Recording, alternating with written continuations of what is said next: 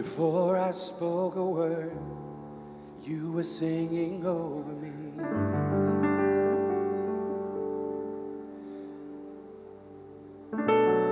You have been so, so good to me. Before I took a breath, you breathed your life in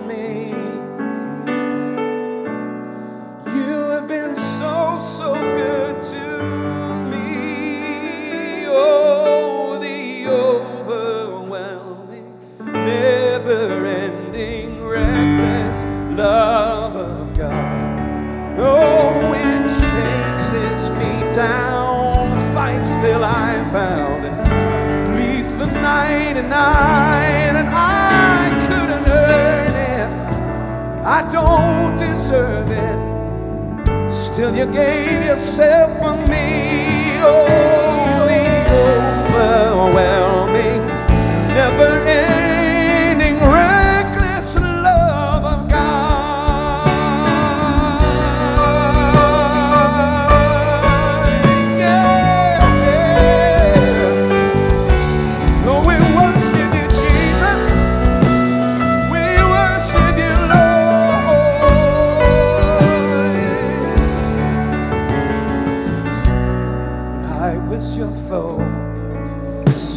Vocês querem ficar em pé e adorar ao Senhor?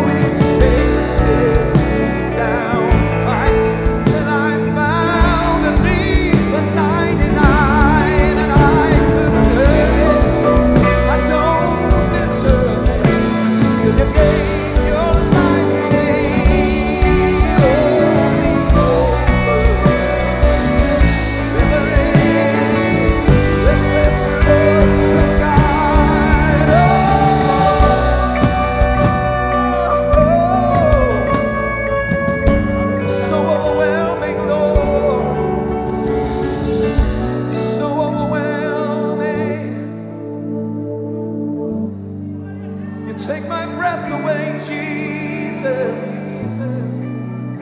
How can I even begin to worship you?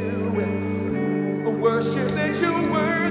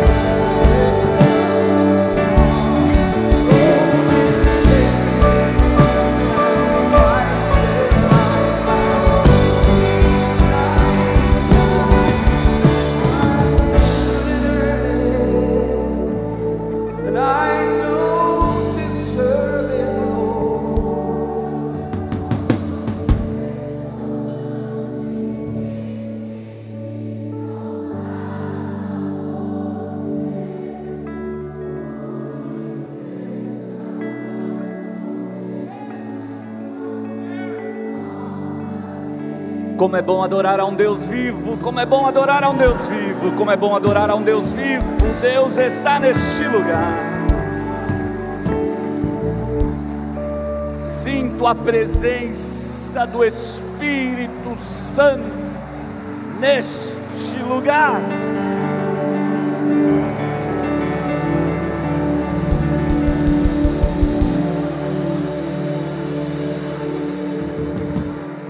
Noite de salvação, de transformação, de cura, de milagre.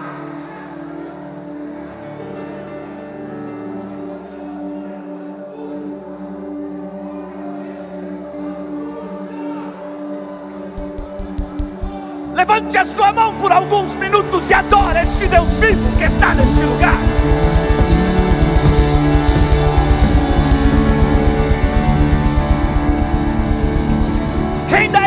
Graças, renda Ele glória, renda Ele graças, renda Ele glória.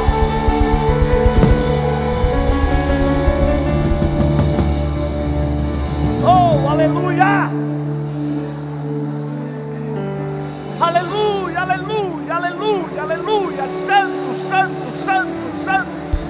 Santo é o Senhor. Santo, santo, santo.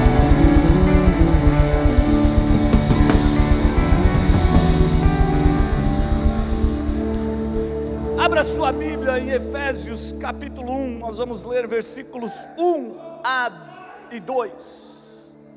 Uh!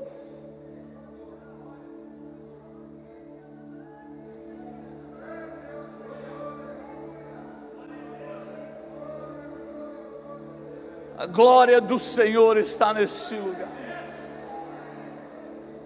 Aleluia. Efésios capítulo 1, versículos 1 e 2. Paulo, apóstolo de Jesus Cristo, pela vontade de Deus aos santos que estão em Éfeso e fiéis em Cristo Jesus, a vós graça e paz da parte de Deus, nosso Pai, e da do Senhor Jesus Cristo. Pai, fale conosco através da tua palavra. Tua presença é real nesta casa. Nós já te adoramos e te sentimos. Agora preciso que o Senhor venha nos alimentar através da tua palavra. Abra as portas da salvação nesta noite, da transformação, do milagre, da cura, Senhor. Nós dependemos do Senhor, nós dependemos do teu Santo Espírito e de mais ninguém, meu Pai. Te agradecemos por tudo, em nome de Jesus. Quantos podem dizer amém? Sente-se adorando ao Senhor. Aleluia. Deus tem uma palavra para o coração desta igreja nesta noite. Eu gostaria da tua atenção nos próximos minutos, para que nós possamos sair daqui fortalecidos pelo Senhor.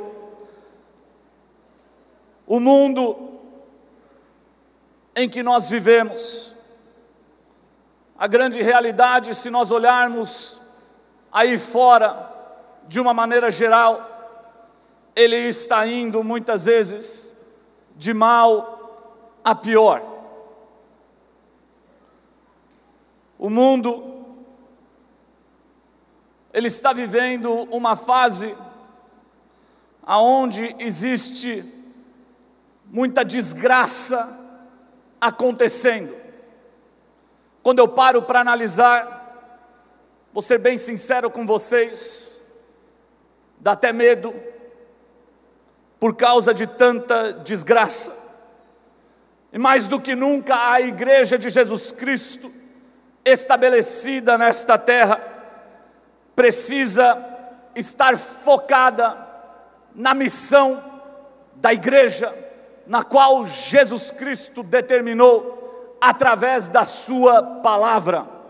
Mais do que nunca, nós precisamos pregar uma mensagem que nos prepara para a volta de Jesus Cristo e que nos prepara para o céu. Porque é para lá que nós estamos indo. Nós estamos nesta terra de passagem. Nós não estamos aqui para sempre. O nosso lugar chama-se céu e Jesus Cristo vai voltar para buscar a sua igreja. E nós precisamos mudar um pouco a nossa forma de pensar. Precisamos mudar a nossa mente e começar a pensar um pouco mais naquilo que é eterno. Em Colossenses capítulo 3, versículo 2, Paulo escreveu: Pensai nas coisas que são de cima e não nas que são da terra. Se nós começarmos a colocar o nosso foco lá em cima e começarmos a ter uma visão daquilo que é eterno, então nós vamos começar a entender que nós somos nascidos de Deus. E porque somos nascidos de Deus, como está escrito em 1 João capítulo 5, aí vem uma palavra para você, meu irmão: o maligno não te toca. O maligno não toca. Se você é crente em Cristo Jesus, o maligno não toca. Peraí, pastor, tem muita gente doente, tem gente morrendo de câncer, tem gente morrendo assassinado, mas deixa eu falar algo para você. O maligno não toca naquilo que é eterno, a salvação em Cristo Jesus que está dentro de você. O maligno não toca na presença do Espírito Santo, o maligno não toca na graça, o maligno não toca na misericórdia, o maligno não toca na unção, o maligno não toca na tua chamada, o maligno não toca na promessa.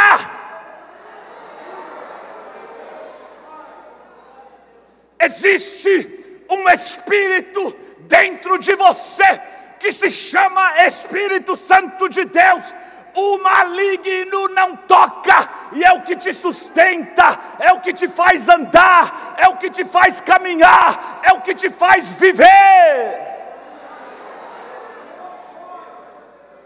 Não toca, não tem capeta que toca na minha salvação, não tem demônio que toca na graça de Jesus Cristo sobre a minha vida não tem inferno que alcança a misericórdia de Deus sobre esta casa.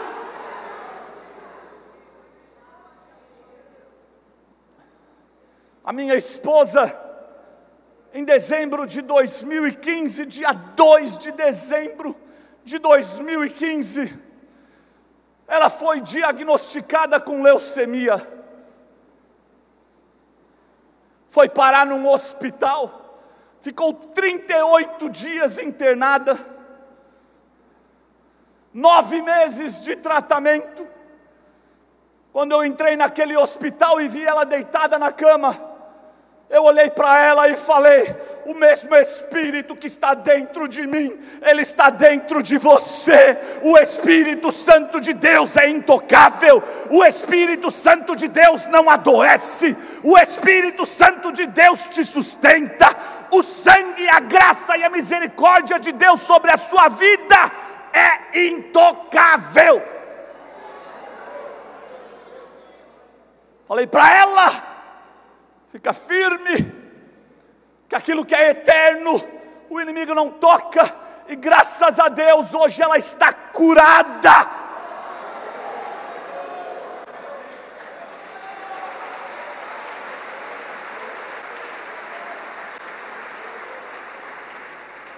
Sem nenhuma sequela, sem nenhuma restrição, Pastor Silas conheceu a minha esposa, irmã Tatiana, irmã Raquel conheceram a minha esposa.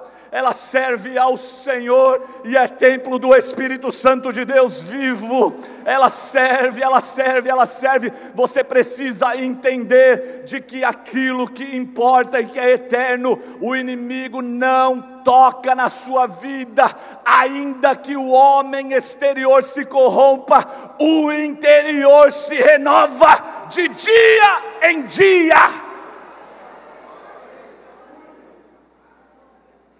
Você precisa crer nesta palavra. Você tem um tesouro dentro de um vaso de barro. Uh, existe um tesouro dentro de você que faz com que você fica em pé e olhando para estes versículos, eu vejo aqui como é importante, mesmo que o mundo esteja de ponta cabeça, nós buscarmos fazer a vontade de Deus nas nossas vidas. Enquanto você estiver nesta terra, você precisa buscar fazer a vontade de Deus na sua vida. A Bíblia diz aqui, Paulo, apóstolo de Jesus Cristo, pela vontade de Deus. Ele era apóstolo, não por vontade própria, ele era apóstolo, não porque um dia ele acordou e falou: Quero ser pastor. Ele era apóstolo, porque um dia ele resolveu fazer a vontade de Deus. E eu penso, esta é minha opinião, de que Paulo ele não foi um grande pregador. Pedro sim foi um grande pregador. Pedro, ele foi um grande pregador, tanto que ele foi escolhido para pregar na inauguração da igreja nesta terra, no dia do Pentecoste, quando o Espírito Santo de Deus desceu e batizou um grupo de irmãos, e em uma pregação, três mil pessoas se converteram. Um cara que prega e três mil se convertem, deve ser um baita de um pregador. Paulo, em contrapartida, a Bíblia diz que ele estava pregando, e era um sermão tão longo, que um jovem caiu em um sono profundo. Quando uma pessoa dorme durante a ministração da palavra de Deus, eu creio que talvez a pregação não está chamando muito a atenção, mas algo é inegável na vida de Paulo. Ele tinha unção do Espírito Santo de Deus porque aquele menino dormiu, caiu, ele parou a mensagem, desceu e ressuscitou aquele garoto, porque ele estava fazendo a vontade de Deus na sua vida. E Paulo foi usado como um escritor. Paulo, ele foi usado como um escritor. Paulo escreveu várias cartas que hoje nós lemos. E muitas destas cartas foram escritas dentro de prisões, dentro de cadeias. Paulo não se intimidou com as dificuldades desta terra para fazer a vontade de Deus. E ali ele pegou um papel, pegou um lápis e começou a escrever cartas que revolucionaram vidas, revolucionaram cidades, revolucionaram pessoas e que nos tocam até hoje. Porque Paulo fez a vontade de Deus, nós hoje nos beneficiamos. Nós hoje somos beneficiados, porque Paulo fez a vontade de Deus, nós estamos aqui e muitos de nós aprendemos com aquilo que Paulo falou. Foi Paulo que nos disse de que o amor ele é importante nas nossas vidas. Foi Paulo que nos ensinou de que não adianta ter dons, não adianta profetizar se não tiver amor. Foi Paulo também que nos ensinou que nós precisávamos não ser ignorantes em relação aos dons espirituais. Foi Paulo que nos ensinou de que nós devemos nos fortalecer no Senhor e na força do seu poder. Foi Paulo que nos ensinou que nós devemos nos revestir com a armadura de Deus. Foi Paulo que nos ensinou que a nossa luta não é contra a carne, não é contra sangue, mas é contra principados, potestades, hostes espirituais da maldade. Foi Paulo que nos ensinou que nós devemos prosseguir para o alvo que é Jesus Cristo. Foi Paulo que nos ensinou sobre a santa ceia do Senhor. Foi Paulo que nos ensinou que nós devemos examinar tudo. Foi Paulo que nos ensinou que nós devemos sempre nos regozijar. Foi Paulo que nos ensinou que nós não devemos extingar o Espírito Santo de Deus nas nossas vidas. Foi Paulo que nos ensinou que nós podemos tudo naquele que nos fortalece. Foi Paulo que nos ensinou que todas as coisas cooperam para o bem daqueles que amam ao Senhor. Foi Paulo que nos ensinou que os nossos filhos devem honrar pai e mãe, mas também foi Paulo que nos ensinou de que os pais não podem irar os teus filhos. Foi Paulo que nos ensinou de que o amor, que nada nos separa do amor de Deus. Foi Paulo também que nos ensinou de que já não vivo mais eu, mas Cristo vive em mim.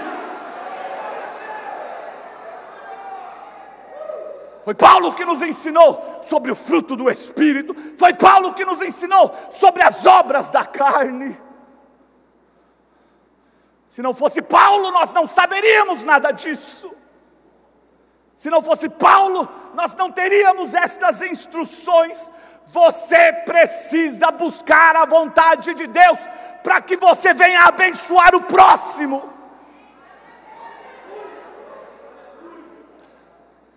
Não é para benefício próprio poderia estar em casa, poderia estar lá na nossa igreja com as minhas filhas, mas eu busco a vontade de Deus para a minha vida, para quê? Para que eu seja uma bênção na sua vida, e você precisa buscar a vontade de Deus para que você seja uma bênção na nossa vida. Você sabe por quê? Eu preciso do pastor Silas para ir para o céu. Eu preciso do irmão Roberto, para ir para o céu, você precisa buscar a vontade de Deus para que a próxima pessoa possa caminhar para o céu. Você precisa buscar a vontade de Deus. E Paulo aqui escreve, Paulo, apóstolo de Jesus Cristo, pela vontade de Deus, aos santos que estão em Éfeso e fiéis em Cristo Jesus. Paulo escreve uma carta para a igreja. Ele categoriza a igreja como santos e fiéis. A igreja que Jesus Cristo vai buscar é uma igreja santa.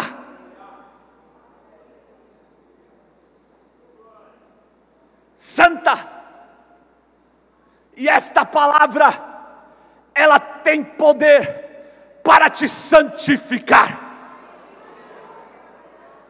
para te transformar, para te mudar. E você precisa buscar a santidade de Deus na sua vida através da palavra. Essa palavra te santifica, te molda, te encoraja. E ele fala e escreve aos santos e fiéis.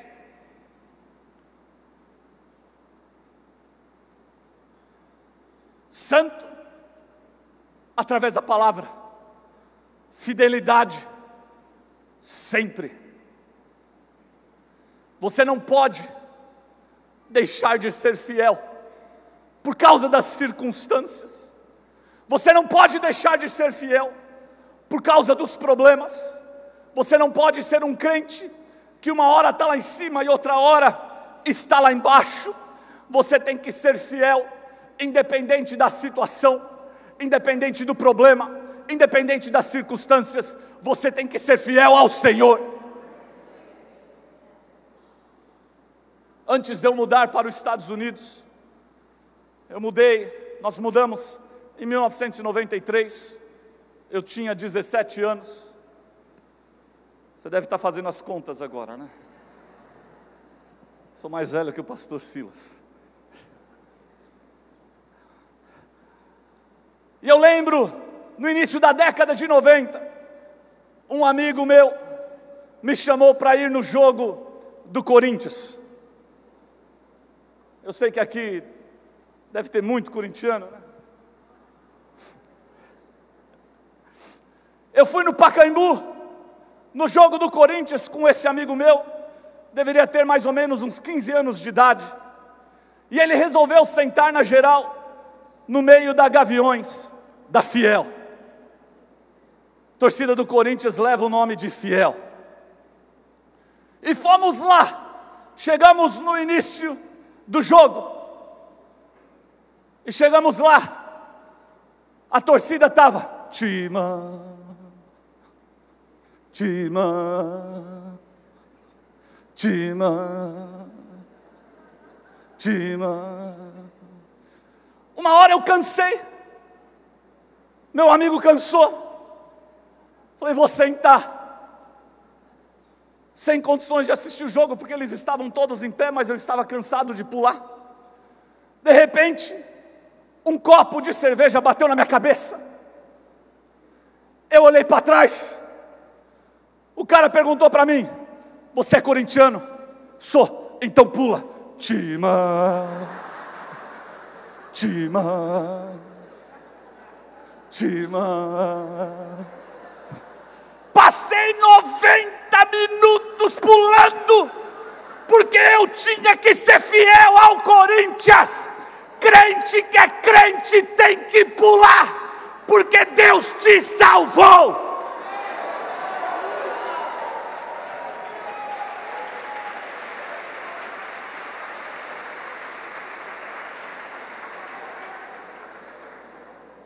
Doendo, pula de alegria. Tá difícil, pula de alegria. Tá sem dinheiro, pula de alegria. Tá sem trabalho, pula de alegria. Por quê? Porque você é salvo em Cristo Jesus.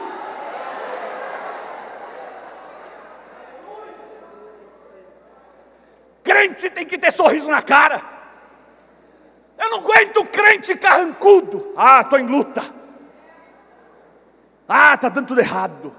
Ei, meu irmão, dá um sorriso colgate, por quê? Porque Jesus Cristo te comprou.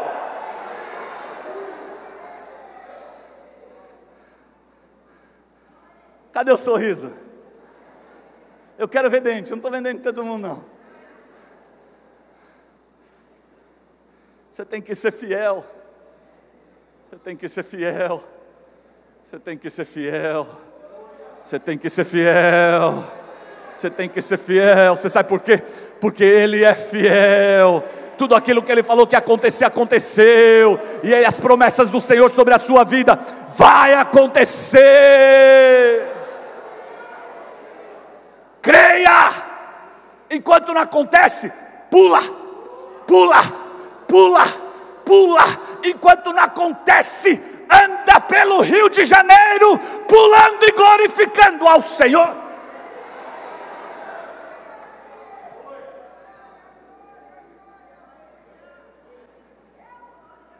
Você sabe por quê? Porque a alegria do Senhor é a nossa força. Alegrei-me quando me disseram, vamos à casa do Senhor. Quando nós chegarmos aqui, nós precisamos adorar ao Senhor do jeito que Ele é digno. Eu cresci escutando muitas vezes as pessoas falavam assim: você chega na igreja, deixa o teu problema lá fora, deixa as suas preocupações lá fora, deixa as tuas situações lá fora, você precisa aqui ficar conectado com o Senhor, é ao contrário, traz o problema, traz a situação, traz a miséria, traz a doença, você sabe por quê? Porque a Bíblia diz que todo joelho se dobrará diante do Senhor, faça todo joelho da miséria, da droga, da... faça tudo se dobrar diante do Senhor e adorar a Deus. Você pode não receber a cura hoje, mas que o medo vai adorar a Deus, vai. Que a depressão vai adorar a Deus, vai.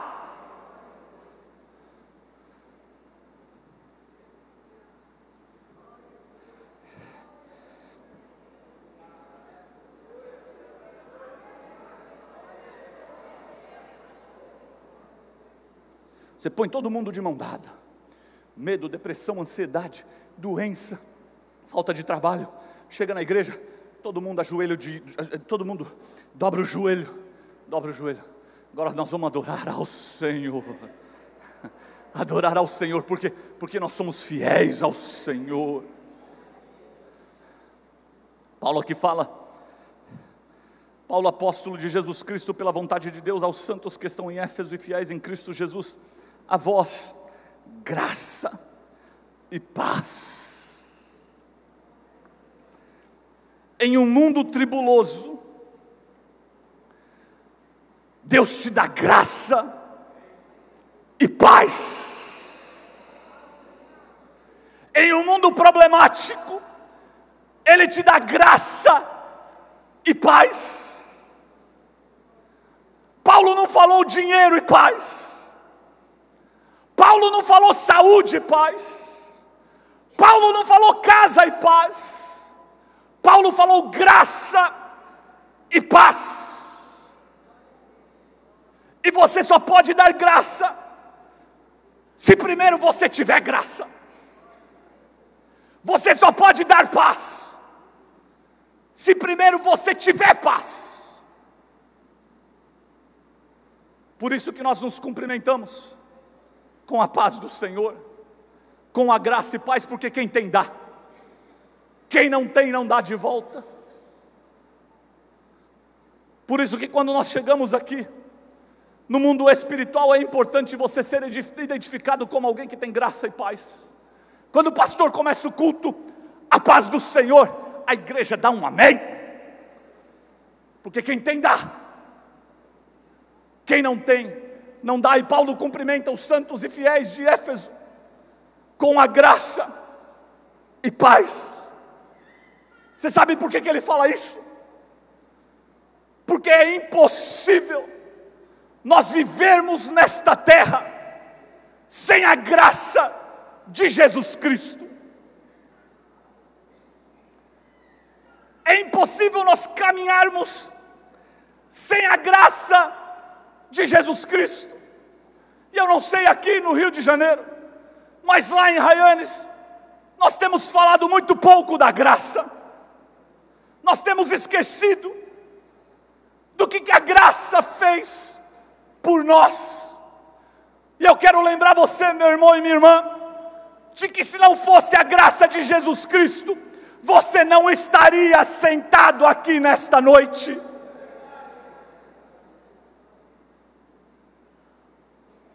eu quero trazer à tua memória qual que era a sua condição antes da graça. Efésios capítulo 2, versículo 1 fala: E vos vivificou, estando vós mortos em ofensas e pecados, em que noutro tempo andastes segundo o curso deste mundo, segundo o príncipe das potestades do ar, do espírito que agora opera nos filhos da desobediência, entre os quais todos nós também antes andávamos nos desejos da nossa carne, fazendo a vontade da graça e dos pensamentos, e éramos por natureza filhos da ira, como os outros também. Você é salvo em Cristo Jesus. Essa era a sua condição antes da graça. Nós éramos um miserável. Nós éramos pessoas que andávamos de acordo com este mundo, de acordo com a nossa carne e com influências demoníacas. Aí no versículo 4, Paulo escreve: Mais Deus. Esse mais Deus é a graça do Senhor sobre a sua vida. Não tem nada a ver com você você não fez nada para estar aqui nesta noite. Foi o mais Deus que te alcançou. Foi o mais Deus que te alcançou. Eu era um acólatra, mais Deus. Eu era um prostituto, mais Deus. Eu via pornografia, mais Deus. Eu mentia, eu roubava, mais Deus. Eu não valia nada, mais Deus. Eu não tinha futuro, mais Deus.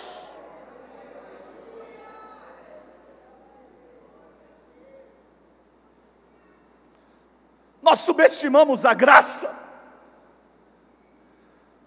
Nós definimos a graça como um favor não merecido. Mas quando eu leio Efésios capítulo 2, eu entendo que a graça, ela luta por você. A graça, ela, ela entra aonde ninguém consegue entrar. A graça, ela faz guerra por você, a graça te resgata, a graça te tira da mão do diabo, a graça te tira do capeta, a graça te tira do inferno. Se não fosse a graça de Jesus Cristo, nós não estaríamos aqui livres para adorar ao Senhor.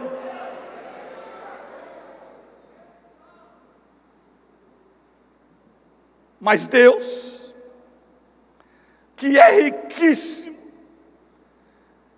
riquíssimo em misericórdia, pelo seu muito amor que, com que nos amou, estando nós ainda mortos em nossas ofensas, nos vivificou juntamente com Cristo, pela graça sois salvo.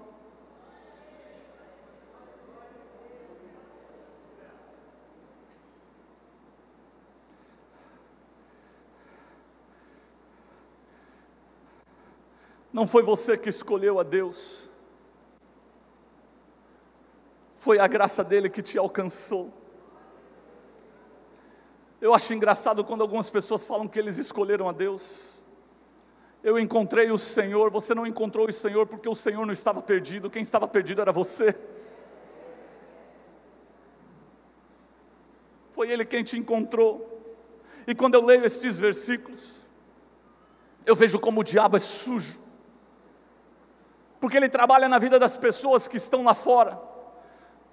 Você convida alguém para vir para a igreja, e aí ele fala assim: eu preciso melhorar antes de ir para a igreja, eu preciso me acertar antes de ir para a igreja, eu preciso arrumar a minha vida antes de ir para a igreja, já aconteceu isso com vocês. E aí eu vejo que ao contrário, você sabe por quê? Porque a graça procura o pecado. A graça, ela quer o pecado.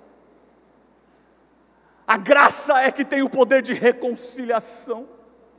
A graça é que vai atrás deste estado pecaminoso do homem. Se não fosse a graça de Jesus Cristo, você não estaria aqui. Foi a graça que te alcançou. E nós precisamos mudar a forma de nós pensarmos. Quem tem o poder de reconciliação chama-se Deus, não somos nós.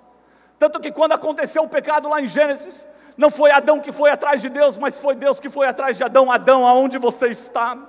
A minha graça chega na tua vida hoje. A minha graça chega na tua vida hoje. A graça procura o pecado. Você sabe por quê? Porque onde abundou o pecado, superabundou a graça.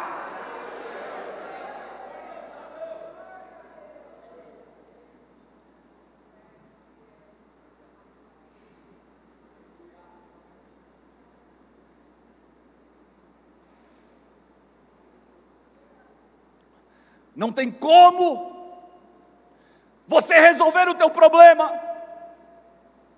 O que você precisa nesta noite chama-se graça de Jesus Cristo. Paulo tinha um problema. Ele tinha um espinho na carne. Ele orou três vezes para que aquele problema saísse. Jesus Cristo olhou para ele e falou assim: Eu não vou resolver, mas eu tenho o remédio que você precisa a minha graça te basta.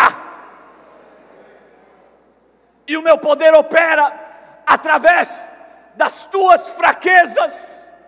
Eu quero falar para você nesta noite de que Jesus Cristo chegou aqui com a sua graça para ir de encontro à sua necessidade. Gostaria que você se colocasse de pé.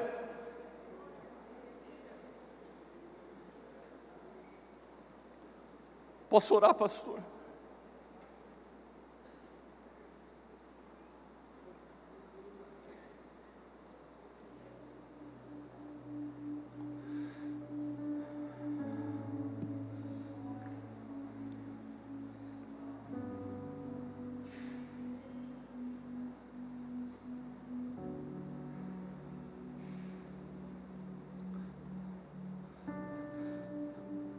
Mas Deus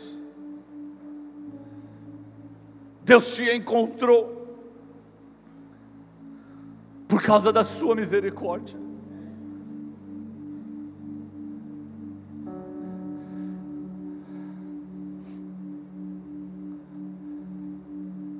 O que eu posso falar para você nesta noite é de que todos nós que estamos aqui dentro temos acesso a esta graça, essa graça de Jesus Cristo, que te prepara para o céu, te prepara para uma vida eterna com Jesus Cristo. Eu não tenho como vender um outro peixe para você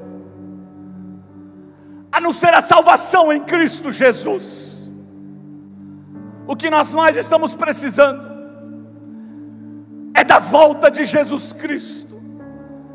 E nesta noite Ele te apresenta um projeto, um plano para a sua vida, que envolve a graça dEle. Você não precisa fazer nada, a única coisa que você precisa fazer é entregar a sua vida para Ele, e o restante Ele faz, Ele muda a sua vida, Ele te transforma, Ele te liberta, Ele te enche com o Espírito Santo de Deus, instala uma fonte dentro de você, te cobre com o sangue dEle, e você passa a ser uma pessoa que anda neste lugar, comprada e lavada pelo sangue de Jesus.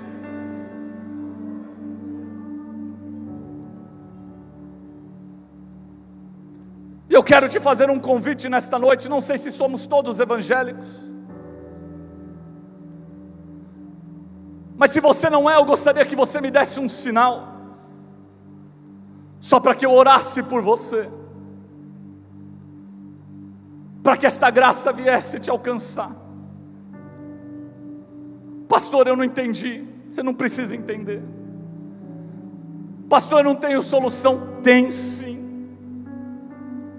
Deixa eu falar algo para você. Vem aqui, Bill. Esse rapaz é um rapaz que está andando comigo tem mais ou menos uns dois anos. Há uns cinco anos atrás, era vendedor de droga.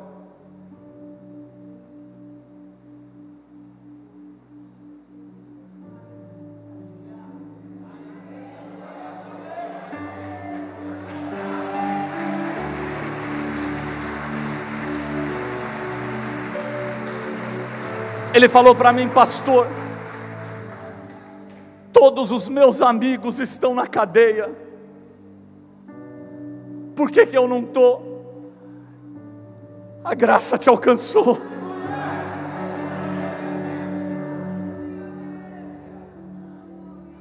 Mês que vem vai ser consagrado ao diaconato. Prega que é uma beleza. Bob, vem aqui, Bob.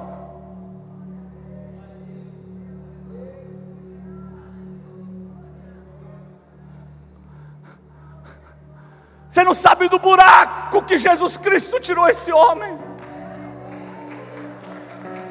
Droga, prostituição, era podre, diácono, agora em dezembro, vai ser levado ao presbitério. Foram eles? Não, foi a graça de Jesus Cristo que alcançou a vida destes dois.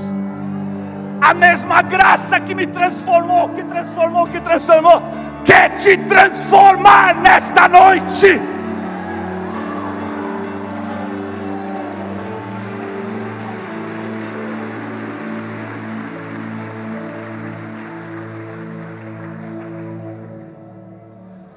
Isso que você não precisa entender, só se entrega a Jesus Cristo, Ele faz o resto. Hoje nós fomos na igreja de manhã do pastor Jaime Soares. Esse rapaz aqui estava profetizando sobre uma mulher. Olhei e falei: Meu Deus do céu, Era boca de Satanás, hoje é a boca de Deus.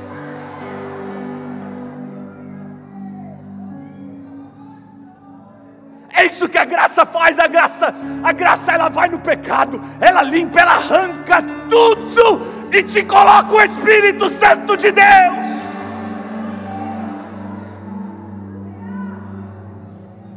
Você precisa ser cheio da graça de Jesus Cristo nesta noite.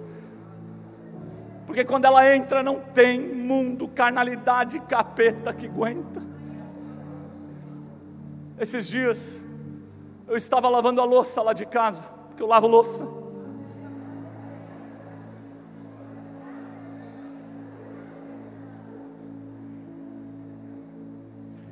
E sou bom no negócio, sou orgulhoso a cozinha, ela, ela cozinha e eu lavo, e eu falo para ela: sai fora, porque você não sabe fazer igual eu.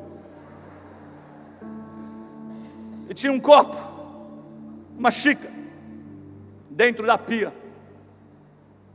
um café, restante de café. Eu liguei a torneira, e a água começou a cair dentro daquela xícara. E conforme a água foi caindo, o café que estava lá dentro foi saindo. Aquilo que era sujo foi saindo porque a água foi entrando.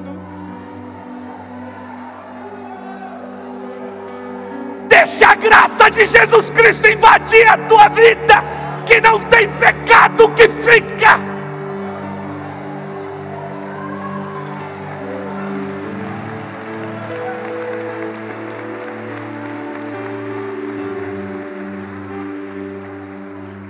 torneira do céu está aberta. Existe uma fonte chamada Jesus Cristo, que é uma fonte de água viva, que está querendo encher a tua xícara para fazer você transbordar no Espírito Santo de Deus.